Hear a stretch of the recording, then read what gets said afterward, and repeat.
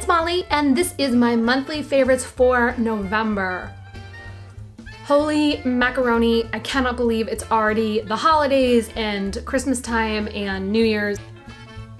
I'm really excited. This has been such a wonderful year for me. I moved, I have this beautiful new apartment, all this great stuff has happened.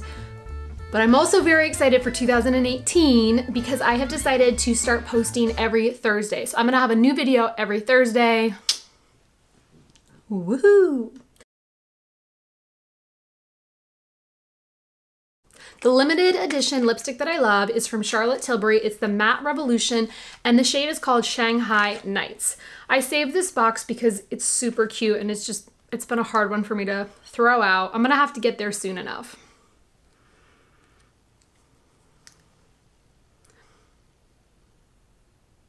This is the most gorgeous, deep, like, I don't even, I want to call it a smoky red. Like, it's just so stunning on.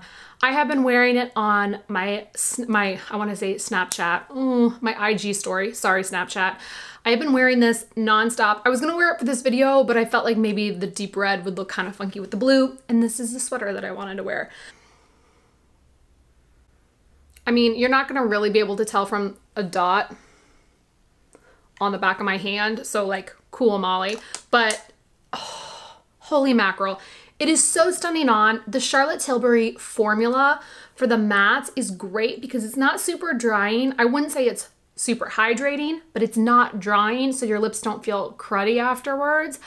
I just think that this lipstick is absolutely a must buy. Reds are already one of my favorite lip colors. They're so striking, but this one is like, I'm gonna put a picture up right now so you can see what it looks like on.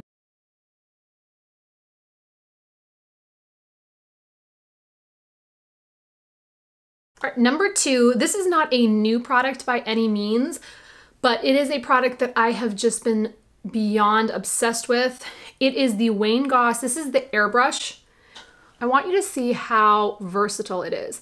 So on the side, it comes to a point, but it has all this nice depth and density right there in the middle. Wayne Goss brushes are handmade in Japan. They are just incredible. They're beautiful. This is a natural fiber brush. They are cruelty free. They are just the softest brushes you will ever feel. And this brush was $35. For a handmade Japanese brush from Natural Bristles, that is insane. I have synthetic brushes that are two or three times the price. It just blows my mind. The other thing that's incredible about this brush is because it has that pointed tip, I use this brush for my contouring. I apply and it immediately diffuses the color. I can flip it on its side and use it for blush. I could, if I wanted to, take the pointed side and use it for powder. You could take the pointed side and use it for highlight. It is so, so versatile. I've considered purchasing a second one and I probably will soon because I'll end up using it for my contour and I don't want to clean it to do the other stuff. Um, so I'll use it for contour. I'll kind of, you know, uh, gently go like this on a paper towel and then I'll use it for my blush as well. It is so soft. It is by far, I think, the most versatile. I keep saying that word, but I can't think of another one. It is the most multi-purpose brush that I own. I cannot believe the price point. There's just, I have nothing but good things to say about this brush. It is available exclusively on Beautylish, and they said this is the best selling Wayne Goss brush of all time. I can see why. I have one in my kit, I have one in my pro kit that I bring with me to work. It's just, it's just absolutely a must buy and very affordable for the quality level. Like that part, I just, I really can't wrap my brain around it. Woohoo! Next up are these. Oh my gosh, here's another product that I have both in my personal kit and my pro kit. And I feel like this one is gonna be a shocker, but it is e.l.f., which is a super affordable brand. And I know the thing with e.l.f. is they have some hits and they have some misses. And I know this because I have a best of e.l.f. post on my blog. I actually have two of them from the older e.l.f. products and then I updated it in 2017 and just wrote a whole new post about their new products because they come out with so many good things. I'm gonna do a separate best of e.l.f. video, but for right now, these brow tints are incredible. So what I do, I have one eyebrow that's like really bald and patchy and crazy. But um, I have these in blonde, medium, and dark. For my personal kit, I just have the medium and blonde. I think I'm wearing the medium today, but lately I've been wearing the blonde and I like it even more. So I fill in my brows, I fill in the bald spots, and then wait until you see this wand. It's so teeny and mini, and then you just brush this through your eyebrows. And here's the crazy part. I've never used a product like this. Oh my gosh, I just got goosebumps. I'm little I have goosebumps talking about this product.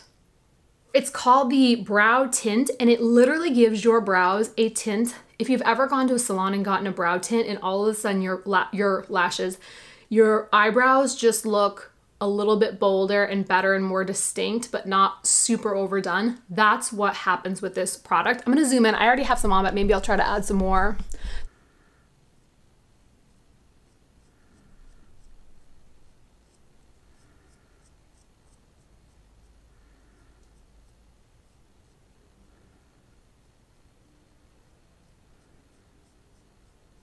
You can see how this it this product just grabs onto your brows, gives it a natural tint just like you went to the salon and got a tint.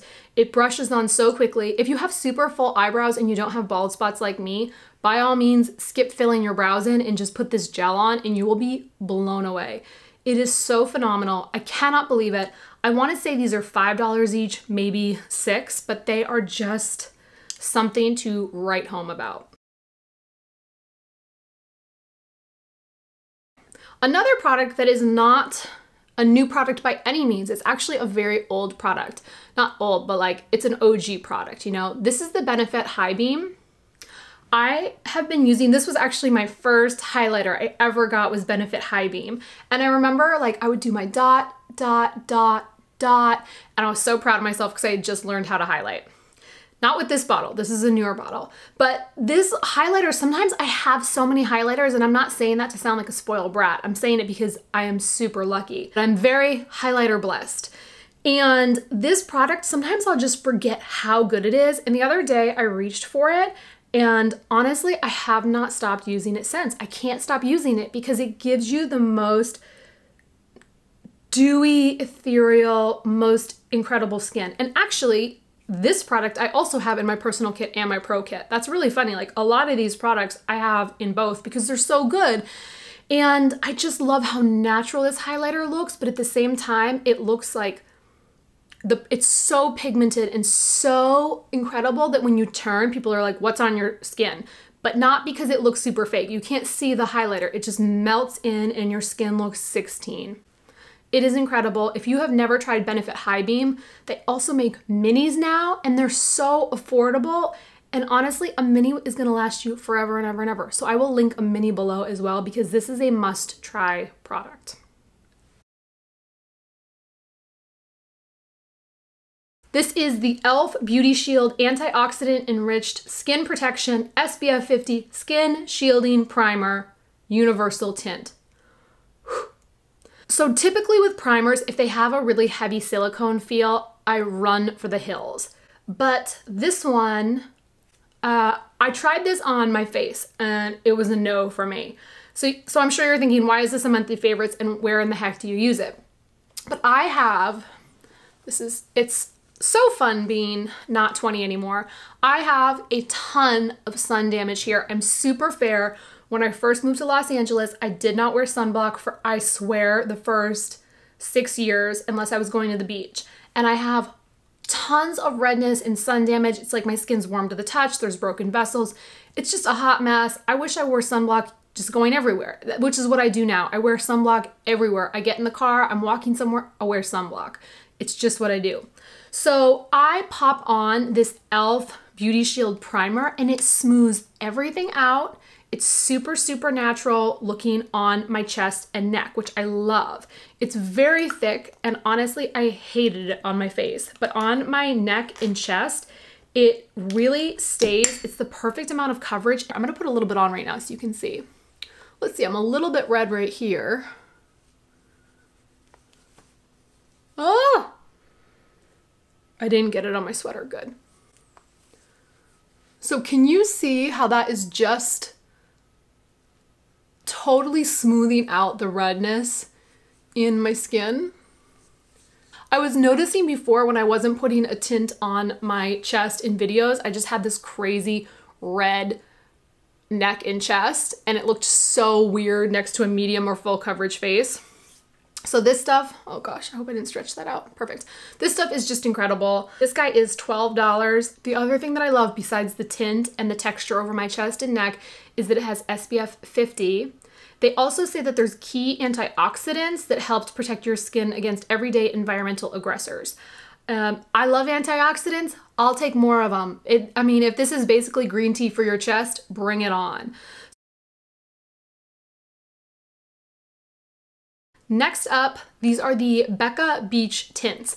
And I know you hear beach tint and you think summertime, but these are I don't even want to call them a cream blush. They're like a combination of a cream and a liquid almost blush. The formula is very unique. And I'm wearing, uh, let's see, today I think I put on grapefruit and I also have guava. These give your skin such a natural flush. For me in the winter, sometimes powder blush can just start to look like I'm really wearing blush and it's not flattering. It makes my skin look older. I just look like I can see my makeup sitting on top of my skin. And these blend right into your skin. They give you just enough flush that you absolutely have a blush color on, but it's never overdone. And most of all, it makes my skin look younger because cream and liquid products are much more flattering for dry or maturing skin. And I'm just obsessed with them. I also have the shade Watermelon, which is really pretty, but honestly probably better for a light to medium skin tone. But Guava and Grapefruit are my go-tos for me having fair to light skin.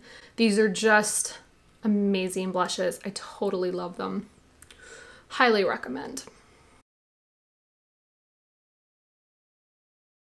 This is the Viseart Paris Nudes, and it was actually in my dupes video for the Pat McGrath dupes. I picked this up during the Sephora, somebody gave me their Sephora employee promotion code, so I got 20% off before the VIB sale. So I had like two months where I could do 20% off, and it was good because then I could stretch my order out and not have one big crazy order all at once. So I've been playing with this palette for a couple months now. Viseart palettes are really beautiful quality. They are on the pricier side.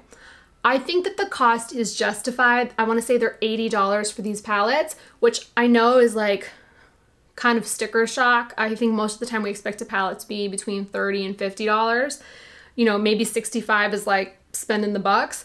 So when Viseart came out with these $80 palettes, uh, initially I had a little bit of sticker shock. I met Anastasia Viseart at a beauty expo, and I thought she was so kind and wonderful. And I started swatching a lot of the shadows, and I'd been hearing rumors about how amazing they were. And when I swatched them in person, that's when I was like, whoa, these are really crazy. You know, matte, the neutral matte palette is the one that I use daily. Again, that's a product that I have personally and in my kit. And it's really hard to do matte shadows right. They're either really chalky and make your eyes look so much older than they are, or they're super pigmented and then they're just so hard to blend out and it just kind of ends up getting muddy or and it's just hard to put the right amount on and it's just like the color is so saturated. But the Viseart hits that really perfect spot of being pigmented enough, but also being able to apply in a really sheer and beautiful way where your makeup still looks natural, your skin still looks youthful. The Paris palette is one that I had also swatched in store. I was actually gonna get a different one and then I swatched this one and thought like, this is the one for me. There's so many good shades in here. Oh my gosh, look at that pigment, how beautiful that is. This is a shadow that I am wearing a ton. It's just this really beautiful rose taupe. And I just find it to be so stunning on. I will either wear it alone or I'll pop it on with a smoky eye and it's just, it's so pretty. Uh, there's a gorgeous purple shade. This is a great inner eye highlight color. These are beautiful bronzes and copper tones. There's just, oh, and this is a stunning brown gray. And the blue I want to play. I mean, that's the thing. Like, I want to play around with the blue a little bit more. There's just so many good shades in this palette. It's unbelievable. And they all just end up looking stunning on. I end up using it so frequently and the shimmer is beautiful. It's never glittery. It's never chunky. It never looks like, you know. And last up is the Ella and Mila Soy Polish Remover.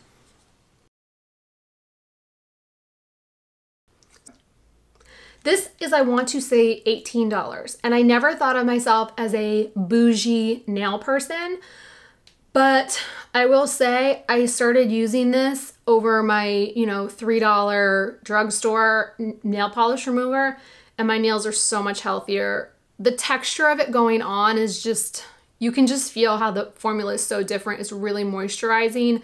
It doesn't give your, you know how sometimes after you take your nail polish off with drugstore nail polish remover, the next day your cuticles just look like the desert. That is not the case with this.